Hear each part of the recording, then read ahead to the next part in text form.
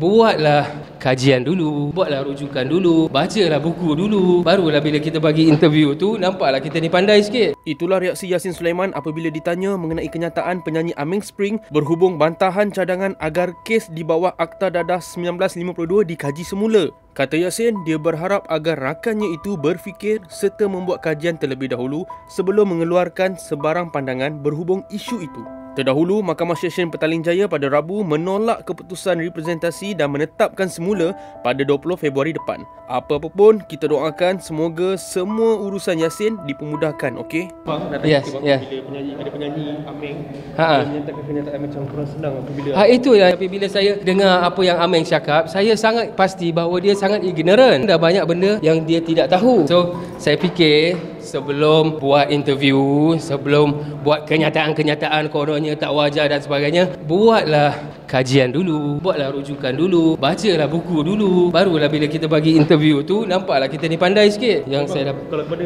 saudara Ameng apa abang nak cakap sikit kalau saya tak ada apalah. Saya Amin Saya memang dengar lagu-lagu dia dan sebagainya. Tapi bila dia cerita tentang cannabis perubatan Saya memang tak tak boleh nak dengar lah Sebab saya tahu dia tak tahu apa-apa Tentang hal itu. Okey. Ha, ha, ha.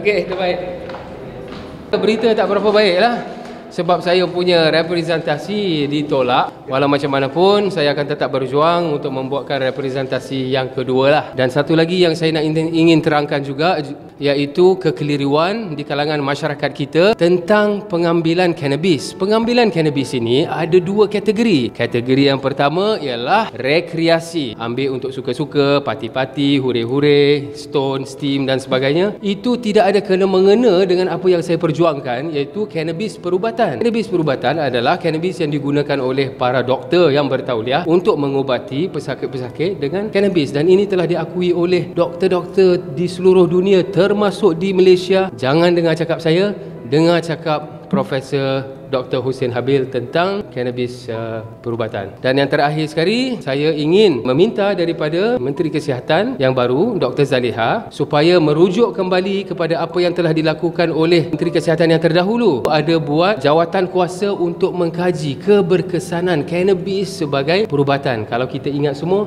diorang ada pergi ke mana? Thailand, kan? Untuk buat kajian dan sebagainya. Tapi bila balik, senyap sunyi, kita pun tak tahu apa hasil kajian dan tak ada apa-apa berita. Ah, So, saya minta Menteri Kesihatan yang baru tolong dedahkan kita semua pada hasil kajian jawatan kuasa tersebut. ini Yes. So uh, dimaklumkan oleh peguam kata uh, dapat arahan daripada abang untuk buat representasi kedua. Abang ada apa-apa komen tak? Ah, Representasi yang kedua ni yang pertama ditulis oleh lawyer sendiri tapi representasi yang kedua ni saya sendiri akan tulis insya-Allah. Saya akan buat uh, tulisan. Tak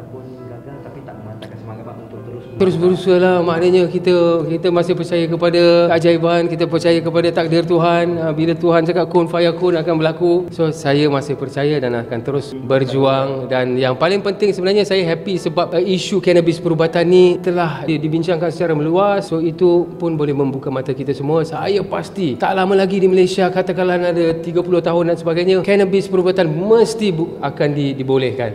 So, sedih lah bila representasi kali pertama ni. Ah, oh mestilah sedih. Tak adalah sedih teruk sangatlah tapi ialah uh, tekilan sedikit. Saya pun mengharapkan representatif yang pertama tu kita buat 47 muka surat yang ditulis oleh saya yang peguam. Okey, tapi tak apalah di, ditolak buat masa ini. Tapi uh, mungkin ada uh, masalah-masalah teknikal yang tertentu. Tapi tak apa. Yang kedua ini saya akan tulis sendiri kepada apa tu yang berbahagia uh, peguam negara insya-Allah.